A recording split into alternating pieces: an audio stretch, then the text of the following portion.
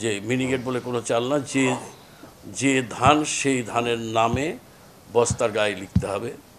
এটা ওই বিধিমালা আছে, সে আইনেও আছে।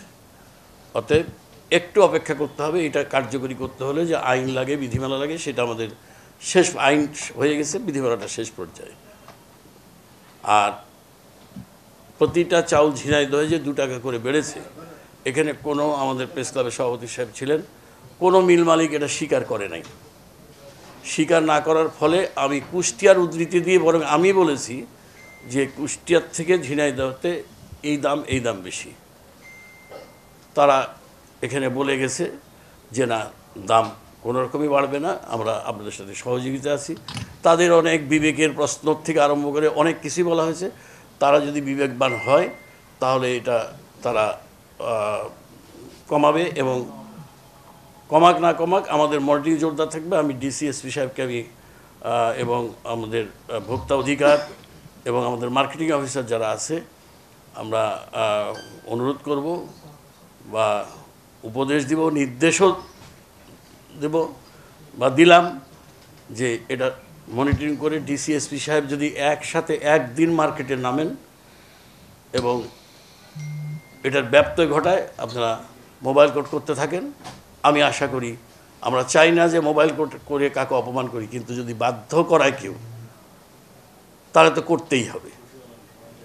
অতএব ব্যবসায়ীদেরকে বলেছি, তারা কুষ্টিয়ার সাথে তাল মিলিয়ে যেন দামটা নির্ধারণ করে, কুষ্টিয়াতে দাম, এখান থেকে কম আছে, কুষ্টিয়ার ডিসি সাহেব এরকম মিটিং করে দাম বেঁধে দিয়েছেন। আপনি মিটিং করে দামটা বেঁধে দেবেন। মানে বেসরকারিভাবে ট্যাক্স ফ্রি করে দেওয়ার জন্য আমরা অলরেডি মাননীয় প্রধানমন্ত্রী জননেত্রী শেখ হাসিনা ওই গত ক্যাবিনেট মিটিংয়ে করেছে আমাদের এনবিআর এর কাজ চলছে। হয়তো বা আমরা দুই চার পাঁচ দিনের মধ্যে এই ট্যাক্স ফ্রি বেসরকারিভাবে ট্যাক্স ফ্রি আমদানির নির্দেশনাটা পেয়ে যাব বেসরকারিভাবে আমদানি করতে পারবে। যদি একটু বলেন। মূল কারণ হলো অন্তর্বর্তীকালীন সময়ে আপনিও আপ- আপনিও বলেছেন সুযোগটা নেয় এই সুযোগ এবং লোভ লালসা এটা সর্বস্তরের এক খুচরা থেকে আরম্ভ করে পাইকারি থেকে শুরু করে মিল মালিক থেকে শুরু করে কর্পোরেট পর্যন্ত। কারণ এই সময় কৃষকের কাছে ধান নেয় আমার বক্তব্য আপনি শুনেছেন। এবং যে আড়তদারদের কাছে ধান আছে, সে আড়তদারদের সাথে মিলাদের একটা সংযোগ রয়েছে, কখন আমি মালটা নিতে পারব? অতএব এখানে তারাও দায়ী আছে। সরকারের সক- সকল প্রকার প্রস্তুতি আছে। আম- আমদানি করার থেকে আরম্ভ করে গতবার মানে ছোলা বলে যদিও এটা উত্তর দেওয়া আমার তারপরেও আমরা যখন কম্বাইন আমরা সরকার যখন গতবার ছোলা বলেন খেজুর বলেন যা চিনি বলেন এটা বলেন যার যেটা রমজানের প্রয়োজন গতবার এলসি যেগুলো হয়েছে তার থেকে অনেক বেশি গুণে এলসি এবার করা আছে। অতএব রমজান নিয়ে কোনো হেডেক নেই। বাড়ার কথা না বা যদি বাড়ে তাহলে যে যেভাবে বাড়াবে সেভাবেই আবার প্রশাসন তো প্রস্তুত আছে। আমরা একসাথে, আমরা এক বছর থেকে কোনো চাউল আমদানি করি নাই।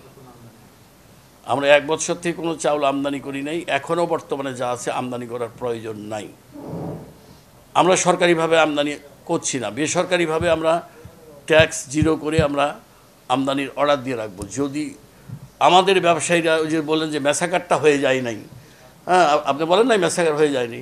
এই ম্যাসাকারটা যেন না হয়, তার জন্য একটা ওয়ে খুলে রাখলাম আর কি। প্রয়োজনে ঢুকবে।